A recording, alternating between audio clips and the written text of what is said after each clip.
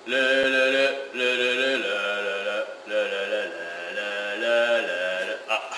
どうも皆さんこんにちはガンの部屋へようこそ本日お招きしているお客様2度目のご登場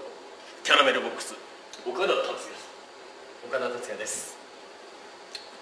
そしてもう一人人生のクライマックス作演出扉座座長横内健生さん横内ですこんばんはいらっしゃいませ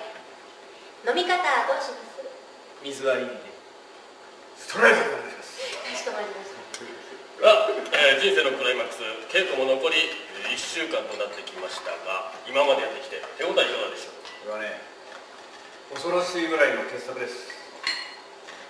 になるといいですね。ということで